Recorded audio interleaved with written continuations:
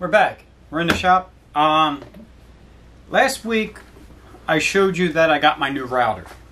And at the end of the video, I told you that I like to have a larger base on my router, which is what we're going to do today. So, here's our new base. I have a piece of quarter inch thick Lexan, acrylic, whatever you want to call it, plexiglass. So, what we're going to do is we are going to fit this on there. Give me a slightly larger base to work with and that'll make it a little bit safer. I'll be able to hold the outside as I'm routing to keep it a little bit more stable. So, guess we should get started. Here we go. First thing we got to do is we need to draw a line where we're going to drill a hole in the center because your router bit needs to come through somewhere. So what I did was took my verniers, I measured, or you could just use a regular ruler measure. That's the size hole that you want to cut. So in the case of this one, we are we're looking at about a little below an inch and a half. So I'm going to use a, I actually have an inch and a half Forstner bit that I'm going to use. This is like one 470 or something. So and the hole underneath is a little bit larger than the plate that's here. So I'll show you how we're going to mark it out and how we're going to figure out where our center is. So I'll bring you down here and we'll get started. So first thing you need to do, we need to find our center. So since we have a square, first thing we want to do is we are going to measure, not actually measure, but we're going to go corner to corner. And then since we know roughly where the middle is, we're just going to scribe in the middle. We're going to spin it. And we will scribe in the center again. And I don't know if you guys can see, but hmm, mm -hmm. there's a little X there. So that center part right in the middle of that X is where we're going to drill.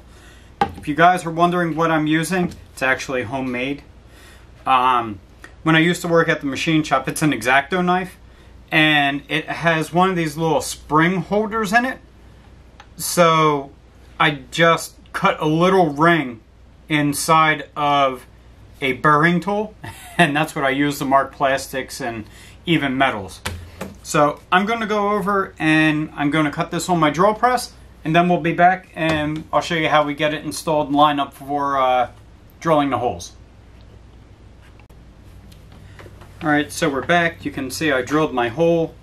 It's a little bit of a rough edge, so now we're just going to deburr it. You can use a file, you can use sandpaper, or in my case I have a deburring tool. So we go around it once or twice. Now we have a nice smooth surface. We don't have to worry about anything getting hung up on. Next thing we need to do is get our plate off of here. Thought I had the screws out far enough to avoid this step. So we take our four screws out of the bottom. And we get our plate off. And now you see we have a nice flat milled bottom there. So what we're going to do is, since we already have a hole, we're going to locate off of that hole. And we're just going to line this up over top of the hole. It doesn't have to be perfect because this is just to give us a little bit more stability. We want to be pretty close though. And what I do is I put it down take a look at it. I visually get it centered. I don't know if you guys can see that. And then what I'm going to do from the back end is I'm just going to mark what looks like the center of the holes, which should be pretty close. Without moving it.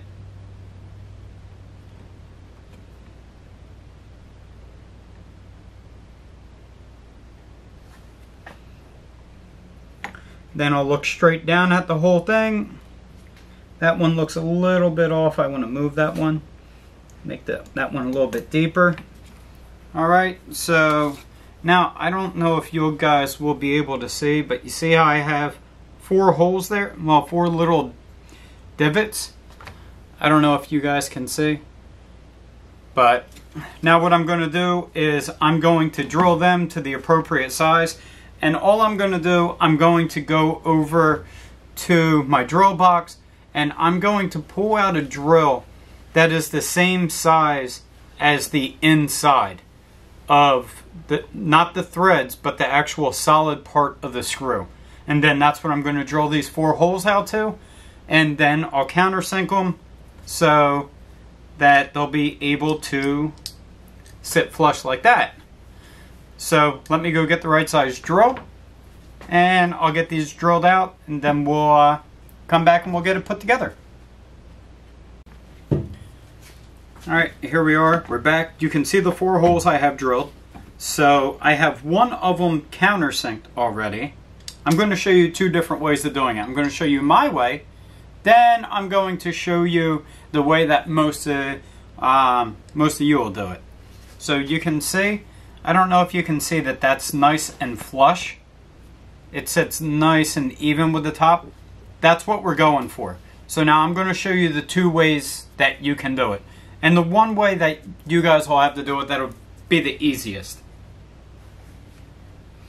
So basically I used my set I had a like one of them pre-drilled countersink center drill things that you can get.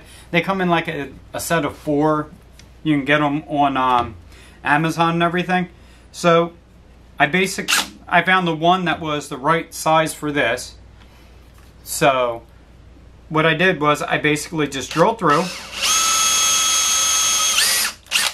and then I would countersink it to a ah, little piece of plastic stuck in there. Piece of plastic won't come out. And then I would just keep going until I got to the exact depth that I needed.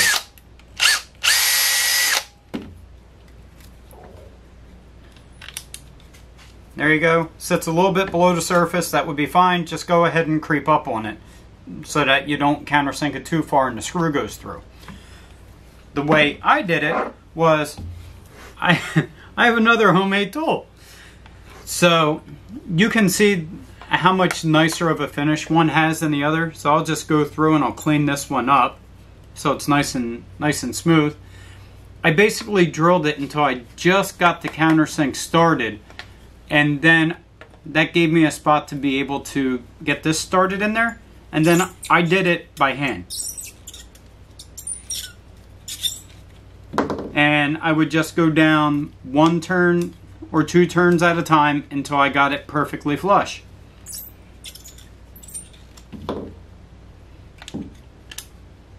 and this is the way I like to do it because you can really creep up on it and you can really fine tune how deep you go. And this also gives a much better finish than using the drill bit. So you can see I'm almost there. I'm going to give it one more turn. And there you go. I'm perfectly flush with the top.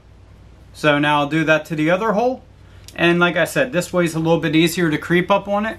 Um, what you can do is you can buy one of these countersinking tools, buy the cheapest one possible because they basically just work off of pressure and then you can get yourself a little 45 degree angle or 60 degree angle countersink as long as it has the right size shank on it then you just put it in there and there you go you got your tool that you need and this works great for holes that you drilled so um I'm going to go ahead and get all these done and then I'll be back to you.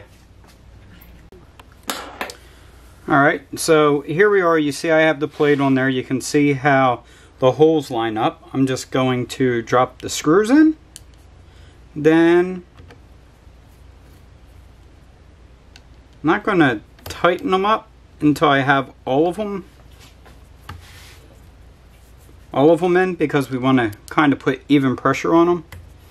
Looks like my one hole over here was off a hair, but looks pretty good overall. Tighten that one down. Do it like a car tire. We'll go across that way. Then over here.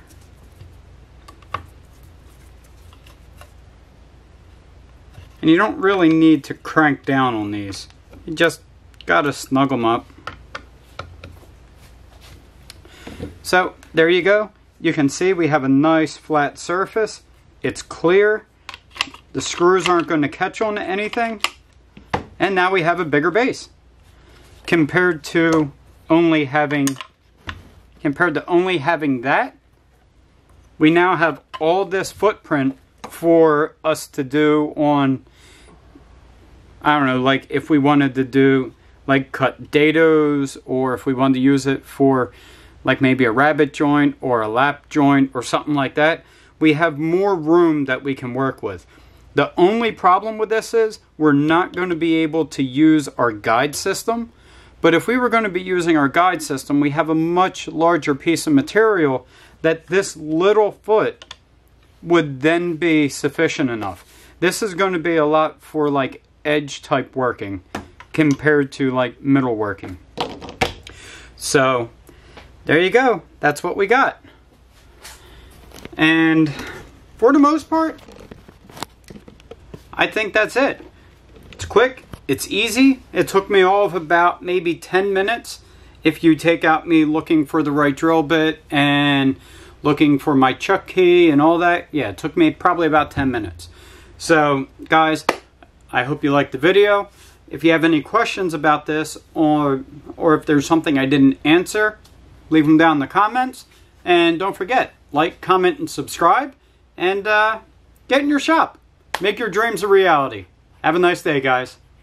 See ya.